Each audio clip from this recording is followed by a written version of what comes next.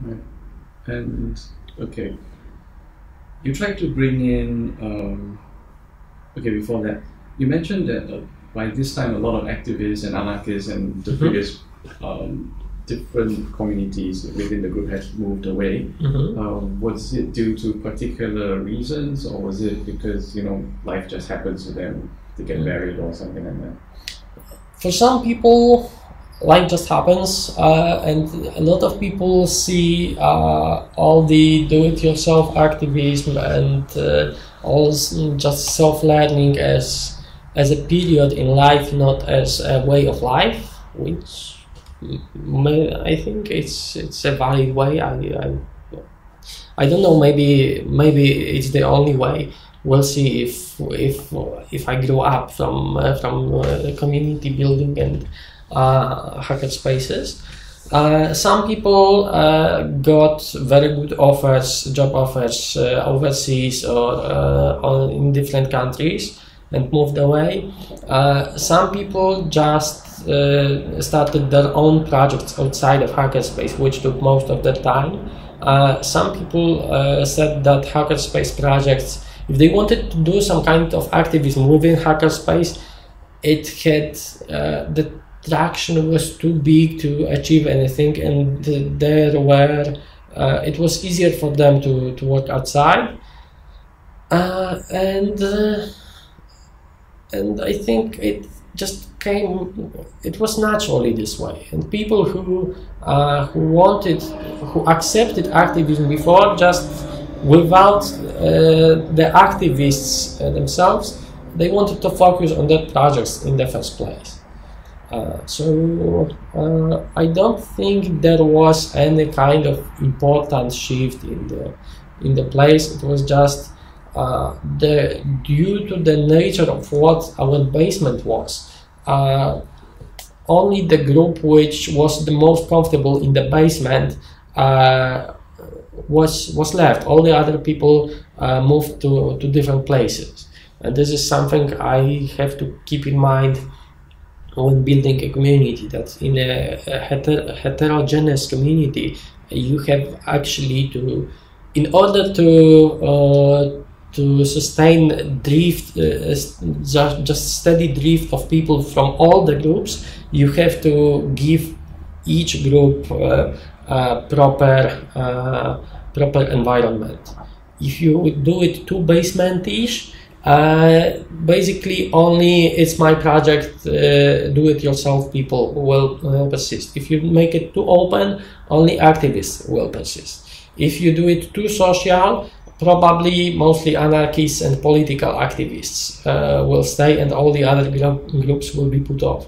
So, creating a hackerspace is a fine art, uh, and I I think that only Mitch Altman and Bilal Ghalib uh, mastered the, it so far. Okay. And okay, so I'm trying to bring in uh, DIY bio as well. Mhm. Um, hello. What was the experience like? Uh, so actually, uh, with uh, DI yourself bio, we had uh, some people at the Warsaw, uh, at the University of Warsaw Faculty of Biology, uh, participating in iGEMS.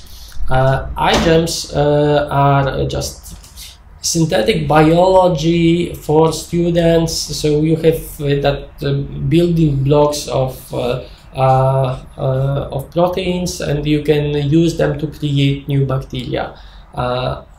Uh, and we actually had quite uh, a few successes, but people didn't go uh, outside of the university with that knowledge. It was very, uh, acad- very academical, very, uh, very closed group.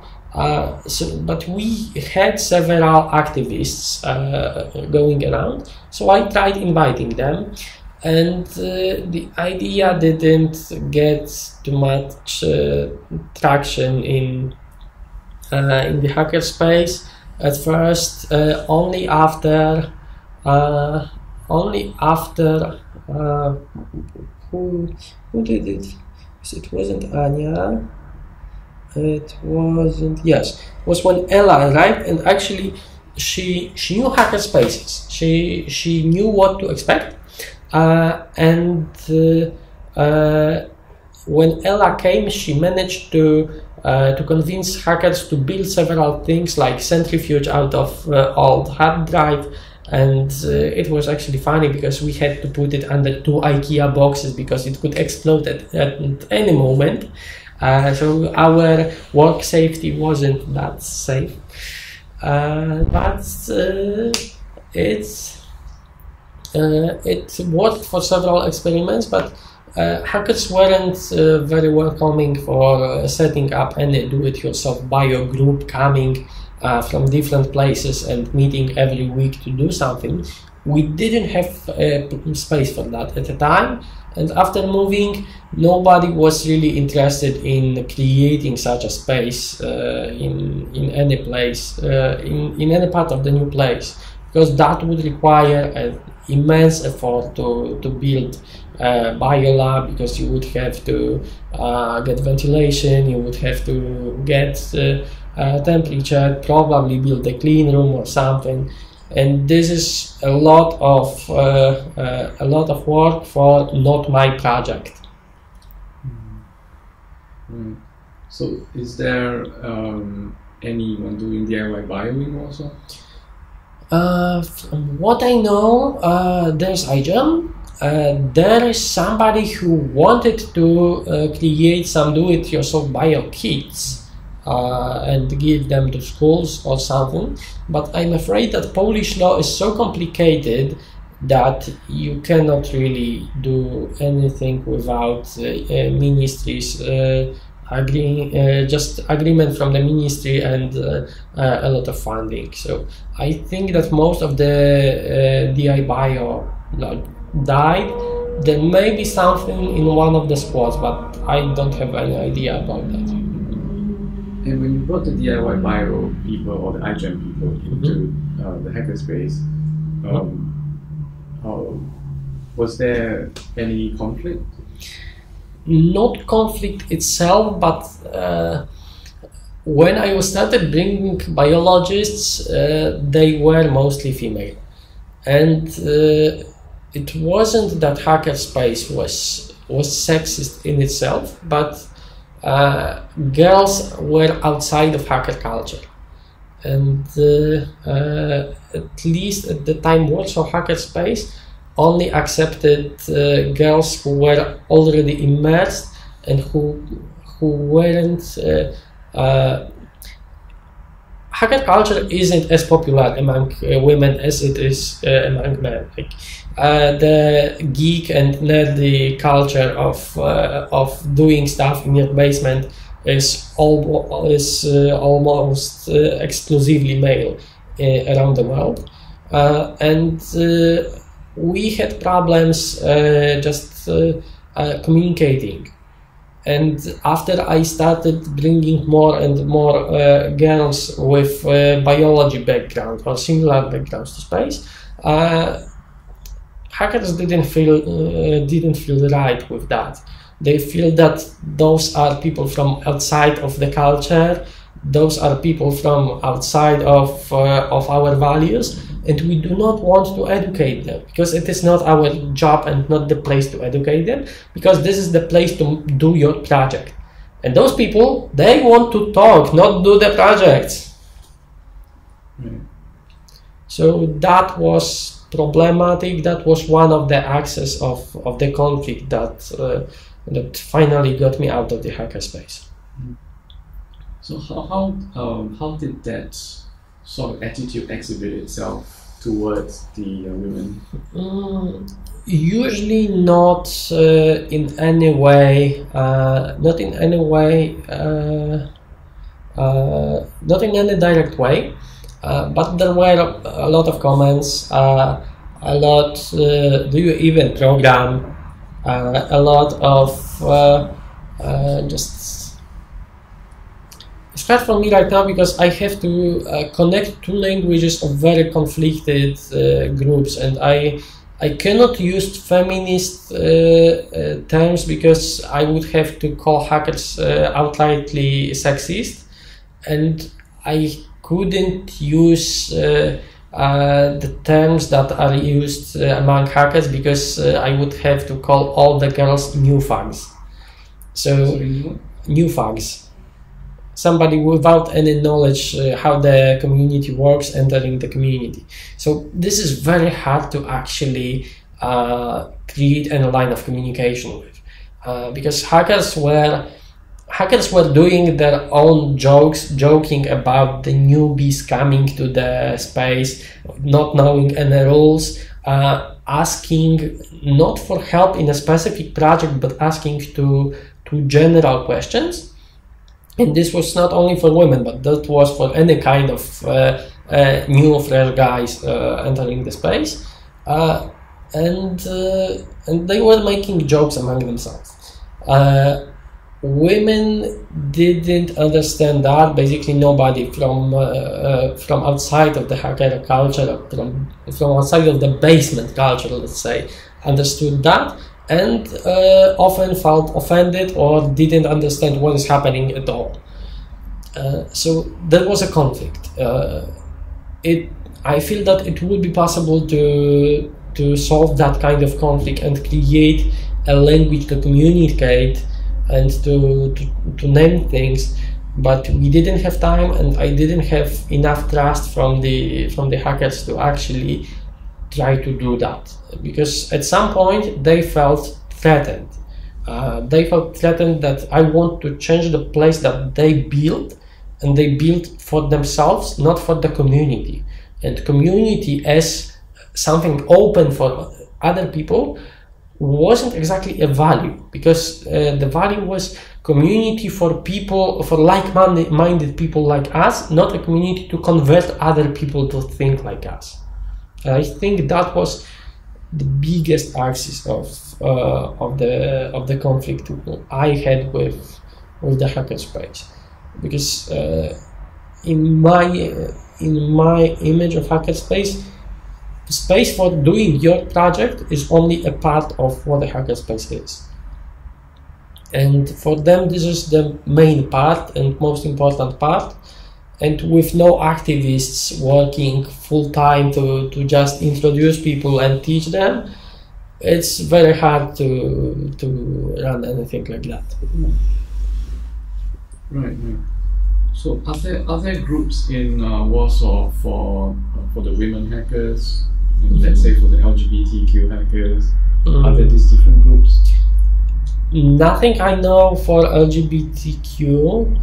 Uh, there are several groups for craftsmanship for women, but this is uh, craftsmanship, not even makerspace. This is hey, there is that kind nice craft. Would you like to learn it? Uh, we have uh, we have places for girls.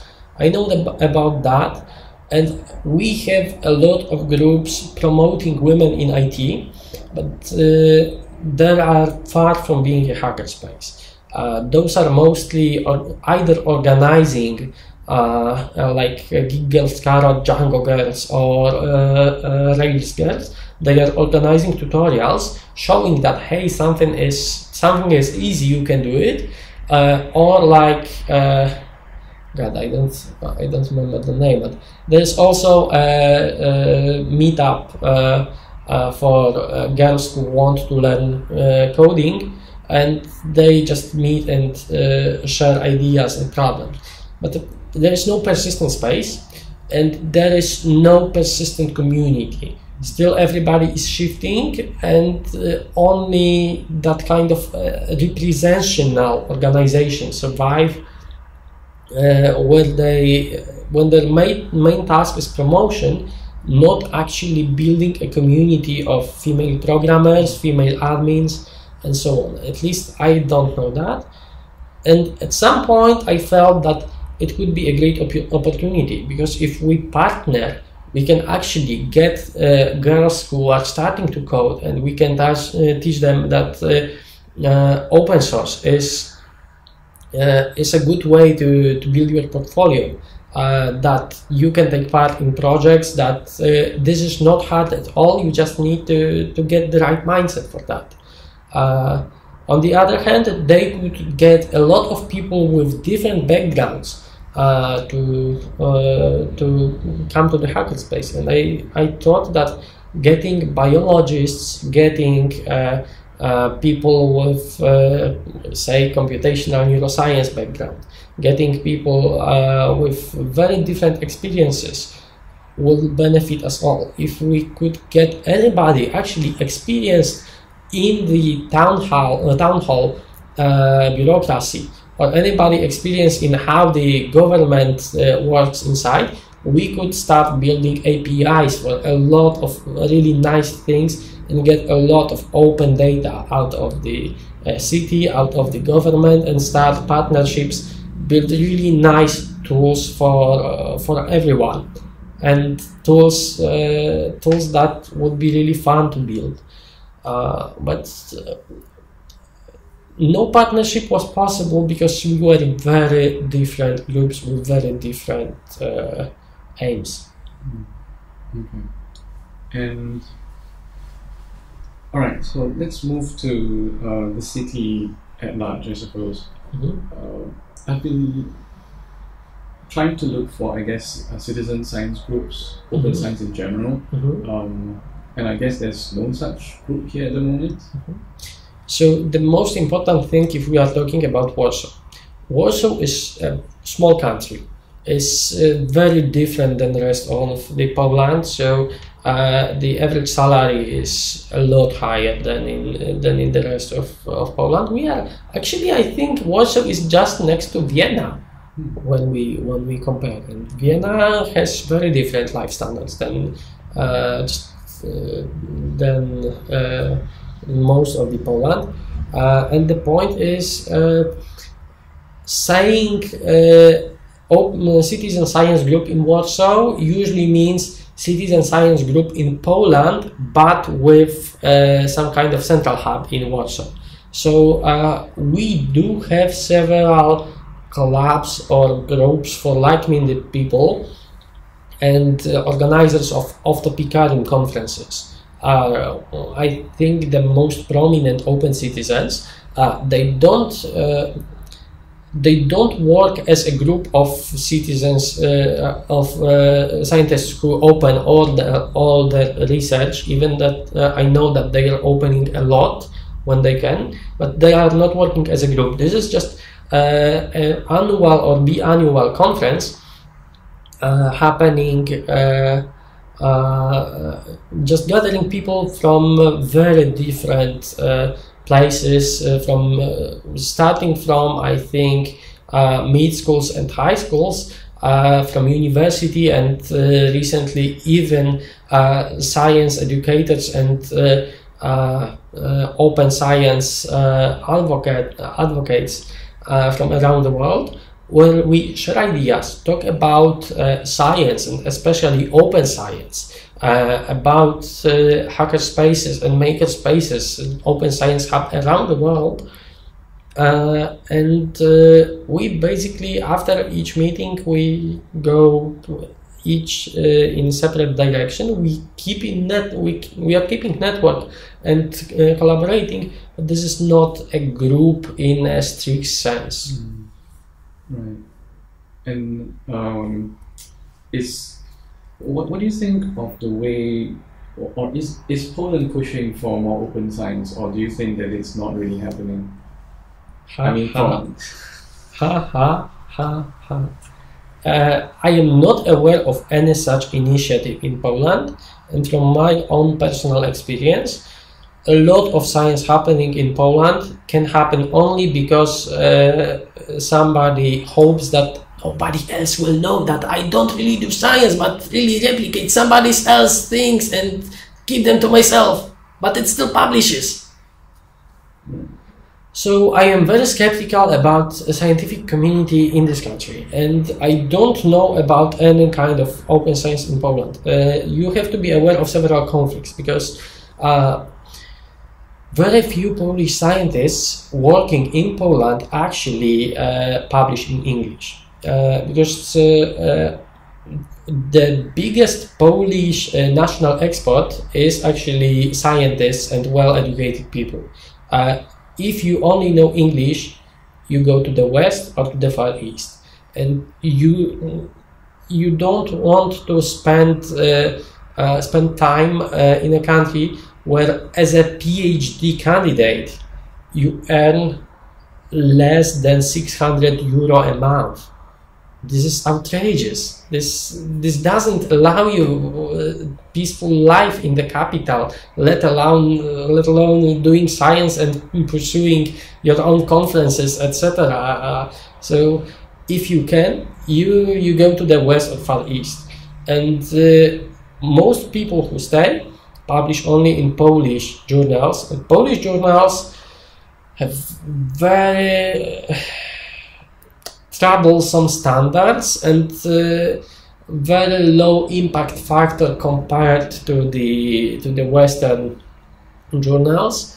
Uh, but they have a lot of points from the ministry. So if you want to get the next grant, you have to make a choice. You either you either publish in open science uh, uh, in open access journal in the West, and you get famous and your research actually makes a difference, but you don't get any follow up money and you do not get a grant, or you publish in some Polish uh, paper in some Polish journal that nobody really reads, and even if they read, they won't uh, they won't do anything with that. But hey, you will get several hundred thousand more for the for your next research. So this is the problem most Polish scientists face. Uh, I'm not uh, a PhD student or scientist myself. This is only something I've seen a good couple of times, but I don't think uh, people. I don't think there are many exceptions. Mm. Okay. Right. Okay.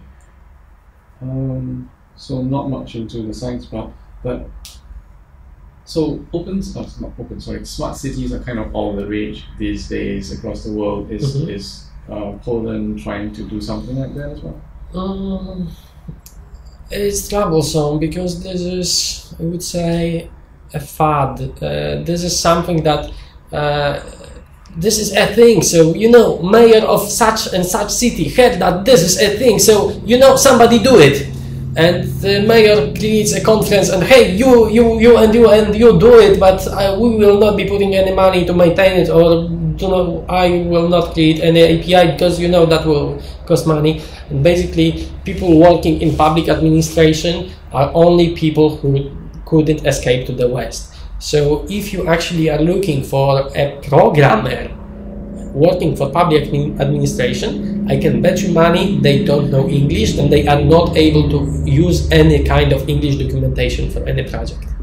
This is very sad, but true for like 75 to 90 percent of public uh, public uh, uh, employed programs. So uh, we had uh, we had several open APIs in different cities, but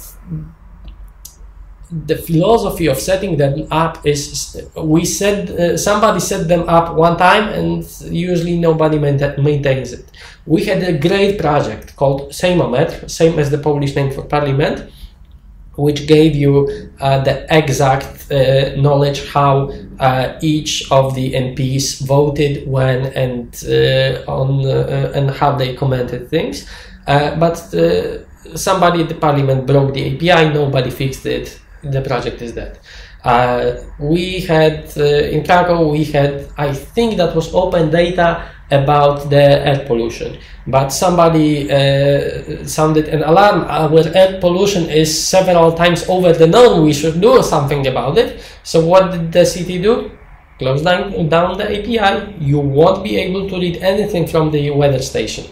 Uh, and uh, we have actually a good NGO to go for any kind of open, okay, not open, scrapable API.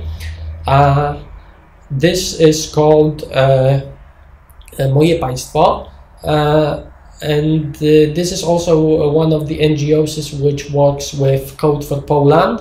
Uh, and they are trying to get as much data in the open and create as smart city as possible. But due to overwhelming bureaucracy, due to uh, lack of trust in open source, quoting my former professor, uh, nobody is really doing that. When uh, when a developer found uh, when one of the hackers found that uh, the previous tickets for uh, the previous ticket cards used in public tra- public transit system in Poland are actually faulty and uh, that you can uh, just use any you can hard, you can code any kind of ticket yourself on the card because they don't have any kind of security implemented properly. I think they got 48 hours in jail for that. For just going to the public with the information that something is wrong. And we officials don't understand open source there was a good initiative. Uh, at the, we have actually the Ministry of Digitalization, and that was a good uh, initiative to create a dig- digitalization council, consisting of uh, a third of uh, a third of the council consists of uh, government uh, employees and officials. a quarter consists of of business people and a, uh, uh, uh, sorry a third consists of business people and the third consists of uh, of uh, NGO workers uh, dealing with transparency with public data. And it was quite nice but very few of its ideas are actually implemented because at some point things get too political and and whoever has the has the uh, ruling whoever is the ruling party wins with their ideas and nobody uses meritocracy in that kind of ministry. Actually one of the hackerspace members was member of the of the council uh, uh, Rysiek. Uh, and I will give you a link to his blog afterwards. Uh, so he has some stories from there uh, and at some point, Warsaw Hackerspace was invited to be a member of a parliamentary group uh, for all for all new bills regarding cybersecurity, transparency, and so on. But since it was uh, after my uh, my own uh, uh, my my leaving of the hackerspace, they just decided that they do not really want to be an NGO. They prefer to be a club. So uh, the chance to to take to take a voice was ignored, and nobody really came to to the parliamentary meeting, and uh, no hacker is actually commenting on the law uh, in Poland. Mm, okay. All right. Um, okay. Uh, have there been any important developments in Warsaw or in Poland's history that have impacted the hacking scene or the tech scene, since the two are related? Mm, from what I know, hack scene in Poland has less than 20 years uh, because let's assume then when several uh, professors started uh, uh, started local uh, internet uh, 25 years ago? Yes 25 years ago. They started tweaking with uh, with some technology on their own and this was the first hacking. I'm not exactly an expert uh, but founding of the Warsaw Hackerspace was one important event. Founding of the Krakow Hackerspace, founding of the Fab Lab in Łódź, of Zakład in Poznań, uh, from from our history. Uh, we got actually Google Campus in uh, in Warsaw, which was quite strange. Uh, because I think everybody expected to go to Berlin instead, because you know there are no serious startups in, in Poland. Okay, a lot of startups won't like me for that, but if you want to have a startup with worldwide uh, attention, you go to Berlin, you go to London, you don't go to Warsaw. Uh, even to even to Tallinn in Estonia, they have a lot of good ideas what to do with uh, open data, with what to do with open systems, and they want to promote startups. Uh, so people were very confused what is the google campus for and uh, i think that uh, one of the more uh, rational voices is actually uh, they didn't come from startups, they came from spin offs from, from the universities. So uh, I think that Google is actually trying to help uh, people escape from the universities, which are largely stagnant and not doing. We lost our patent for graphene. Like we had to get we had it we had our, our uh, idea before canada and israel like i think half a year or year before and we lost it because of bureaucracy because they couldn't agree on how to create a spin-off with that so i think that google came just to save several scientists and just hire them or create a startup with them uh, for them not to waste time at, at public universities but outside of that, uh, we have Geek Girls Carrots. This may be important, even though I don't like the idea of just promoting something and not giving too many follow-ups, uh, not giving a persistent community when, when you can learn programming. Geek Girls uh, chapters are sprouting all around the world and, and quite important. And and I don't don't uh, remember anything else. Maybe founding Code for Poland several years ago, but but uh, I I don't uh, remember anything else seriously impacting hacking scene in in Poland. Okay. All right, maybe something lighter.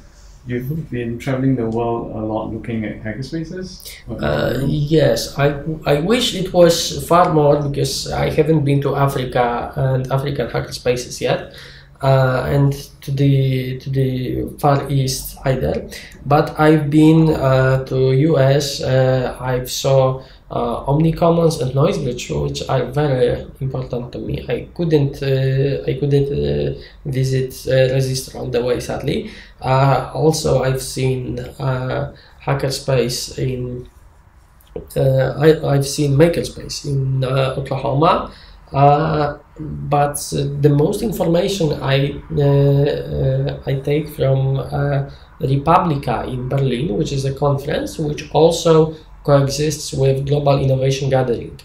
Uh, this is an organization for all the hacker spaces, maker spaces, accelerators, uh, and the innovation hubs uh, from all over the world, especially from the uh, from Africa, from Middle East, uh, from uh, South Asia, without Australia, and from Southern America because very few people think about hackers when they think of that. And that is a huge scene like open data jakarta it's wow. It's uh, palestinian guys and uh, iraqi guys creating uh, hand prostheses that's wow. Uh, that's really something important. Uh, three guys from Sierra Leone coding a new bank transfer system within three weeks and basically saving the economy and hospitals in the whole country during the Ebola epidemic. That's wow! We have a lot of things happening all over the world and we don't notice that. Because when we think hackers, we think C-base in Berlin, CCC in general in, in Germany, and we think uh, Noisebridge, Omnicommons, Resistor, and such spaces. We don't think outside of the White West.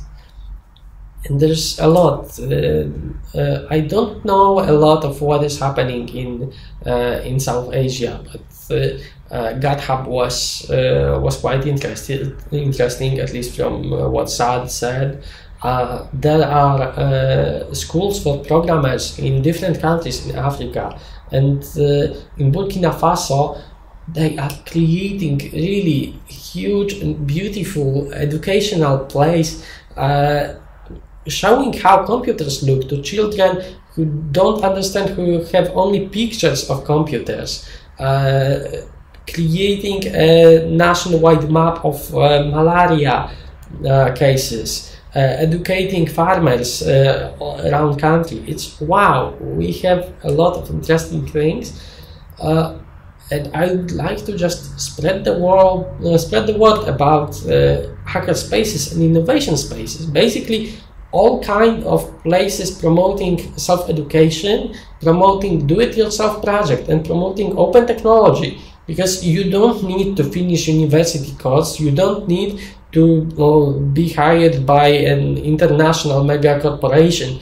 in order to create something and uh, I hope that my own open science uh, will contribute to that as well. I would like to, if only I finish I would, uh, this project before, I would like to go to the Chaos Communication Congress in Germany and show that, hey, this is far from perfect, but hey, I did a piece of research on something which is uh, socially important, with something which which may make a difference because consumers may know that this works or this doesn't work. And this is a piece of real science with no uh, uh, no assumptions uh, at the start but this is citizen science as it should like uh, should look like not only as clicking on on neurons and uh, and galaxy zoo which is important but we can do a lot lot more we can do a lot more. Okay, uh, last two questions. Mm-hmm. On your website, you describe yourself as uh, a transhumanist. Yes, but uh, after visiting US, especially after reading about Peter Thiel becoming a vampire, I am far less inclined to use that term. Because for me, transhumanism meant people noticing that the changes are uh, accelerating, that the future is coming faster and faster, and each generation, generational gap will be far bigger than, than the previous. And uh, my answer is okay, this is what we see, so what can we do about that? How can we shape that? Let's stand at the front of the wave and shape it the best we can because we should be afraid. A lot of people will be hurt, a lot of people will die in the process. When the automatization of the of labor will come, there will be huge unemployment. There will be huge chaos out of the uh, self-driving cars. And hey, there is a there is a real uh, opportunity to change it and to shape it so that the least number of people will be hurt and so that uh, we the people will have the biggest freedom and the biggest number of opportunities to self-develop afterwards. Yes uh, okay if we continue doing like like we are with the silicon valley and uh, bay area uh, dictating how the world should develop at least the western world uh, we may end up in cyberpunkish mega corporate mega corporate uh, dystopia. And i am really astonished that most of the transhumanists really do hold that point that yes for for technology for progress we want to sell our souls we want to do everything just for progress because we want to see flying cars within our lives. And what's why is that? I i consider myself a transhumanist because i see that things are changing faster and faster and we shouldn't make them faster unless we can do something to to control loss of life, to control uh, loss of human well-being in the way. So that is transhumanism for me, and I see that this is not exactly the term that I should use. Seeing transhumanists willingly use blood of the young to to keep themselves younger based on badly understood research that doesn't really say that you should use blood from the ah yes so, so would you consider changing the term now? Probably yes, but there is few. There's few terms that describe it better. Uh, I mean, there is a new growing movement. I like really well and it's firstly philosophical and in and just in in the literature lit, lit, literature uh, it's solarpunk. Something which comes after cyberpunk uh, some not exactly post cyberpunk because we don't want to get all the cyber and dirty. Uh, this is small groups of people uh, ecologically and uh, environmentally aware, uh, working in communities, sharing knowledge, sharing knowledge all over the world, but uh, but working locally within communities. Mm. And each time I read about solarpunk, I I understand this is a whole philosophical trend about hackerspaces but those people do not know that term hackerspace. This is exactly about working with technology in community and sharing knowledge all over the world. This is exactly what it is. But but uh, right now this is just some very theoretical musings. So so I don't know if I could if I should use that to describe myself in any way. I don't know if I can describe myself as a hacker, not not created anything uh, which which would earn me a name in the in the eyes of the community before, uh, because most my most my achievements were uh, just societal uh, or uh, using not using technology as to achieve that, not using technology to create something new. I was just working to promote knowledge, to to open uh, to open some uh, scientific research and so on. I wasn't really uh, I wasn't really creating things uh, themselves. I don't have any pull requests in uh, in any important projects on, on GitHub or anything like that. So when I have better idea how should I call myself, I will I will do that. For now, maybe it's be open source transhumanist, not drinking blood. Okay, that's a very good term. Okay, last question. So I've, I've been the one asking the questions, mm-hmm. right, guiding it along. But if you were the one asking, mm-hmm. um, what questions would you ask about hacking and tech in Warsaw and Poland? What would you want to know? I would ask it depends really who should I ask. Uh, but I think that asking people, would you like to create? Uh, do you think that creating a persistent, uh, a persistent uh, space and community for learning and promoting self-education outside of any university is a good idea? And if so, how would you implement it? I would like to hear that from different people, from people at the universities, from people at Google, uh, from people in different places, because I am not asking, uh, this, this doesn't mean uh, how to create a fucking startup. We have enough of them. This isn't asking how to create a students group, because they don't end well, because in Poland. This isn't uh, a question about any kind of company eh, like a FabLab or a Makerspace being able to sustain themselves. Uh, it's about a community and a place, uh, persistent for all people, open for all people who only want to share knowledge, share the notion that self-education is important, and uh and really uh, uh, and just learn new things. So I would like to hear answers from people in Warsaw and from people in different places. Do they believe that it is possible to set up such spaces in smaller towns? Do they believe that this should be part of community or cultural center in, in such small town?